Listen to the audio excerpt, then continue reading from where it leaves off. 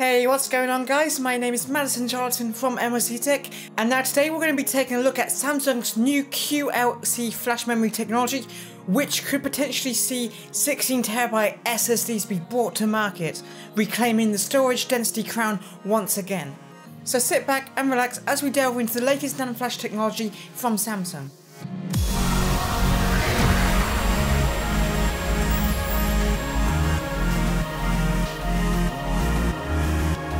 Now at the moment when it comes to the cutting edge of storage density, most high-end SSDs use what's called multi-level memory cells, otherwise known as MLC, like MLC tech. That's not, they're not the same thing. My MLC stands for my initials, this is multi-level cell memory technology. But MLC has held the storage density crown as they can store more than one single bit of digital information at the same time, and they are considered the cornerstone of modern solid state drives. But Samsung is now about to introduce a new generation of SSDs based on quad level memory cells, that being QLC, providing an unprecedented level of density for storage applications.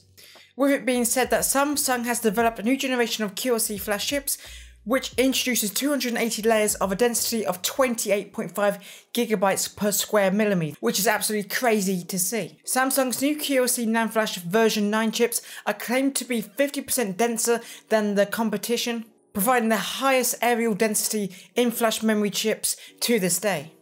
Now, storage density isn't the only improvements that Samsung have been able to make out of these chips.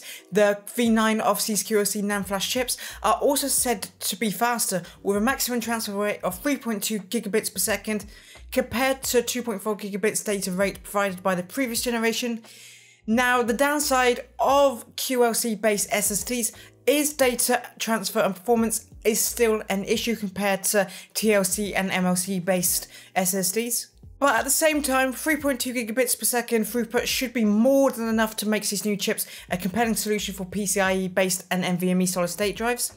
And the massive advantage that Samsung have when it comes to the new era of QLC is that Samsung could soon be selling 16 terabyte M.2 SSDs, which oh, that would be absolutely crazy to see 16 terabytes on something like this size. It's just Oh my god, that would be so awesome to put into the system as a mass storage drive, though I expect to be paying a pretty penny for that.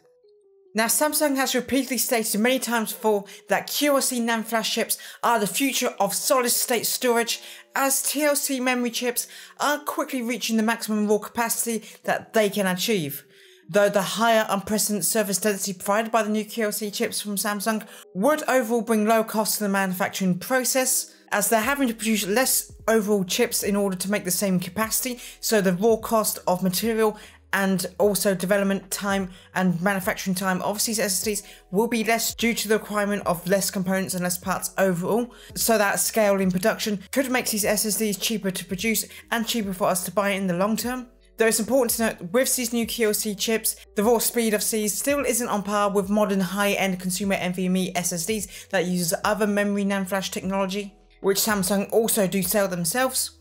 Current QLC based SSD storage employs large cache memories that can take 25% of the total storage capacity of the drive, which easing the performance issues slightly of this drive, but when this cache pool is filled up on these drives, write speeds can dramatically collapse and can fall back to subpar SATA levels, that being the 100 to 300 megabytes per second range so there are still some significant performance concerns when it comes to QLC based storage, but if they're dramatically able to scale up the density and the capacity of these drives, then it could potentially mitigate some of the risk of that performance degradation, but it's still a concerning factor when it comes to people who want that maximum high speed performance out of these drives. Though the increased storage capacity and the increased speed should be enough for most consumers, and quite frankly, I'd be more than happy with these drives if I was to buy a QLC based drive with the intention of it being a mass storage drive. Um, personally, for a boot drive, I would buy a smaller capacity, much faster SSD for my primary boot drive, and add external drives with large capacity, but slightly less speed compared to my boot drive for the rest of my drives, as quite frankly, they won't take advantage of that high speed, unlike my operating system and primary applications that I use will. Now, Samsung isn't the only competition out there when it comes to QLC based storage devices. Other memory manufacturers include the likes of Micron, which has also developed a new form of QLC storage, that being a 322 layer QLC chip for a 19.5 gigabyte storage density per square millimeter, so Samsung still have the crown when it comes to storage density. YMTC is also developing a record QLC memory solution with 332 layers and 20.62 gigabyte density per square millimeter as well. So there's going to be some tough competition from Samsung to beat when it comes to the QLC based storage out there. Now, of course, storage density alone isn't the most important factor. If YMTC or Micron can come out with QLC chips which have slightly lower storage density but greater performance, then that could potentially be a compelling reason for people to go with another QLC based SSD opposed to Samsung's solution. Though it remains to be seen, and we won't know the real world performance of all of these new drives until we actually have them in our hands and can actually run some tests on them.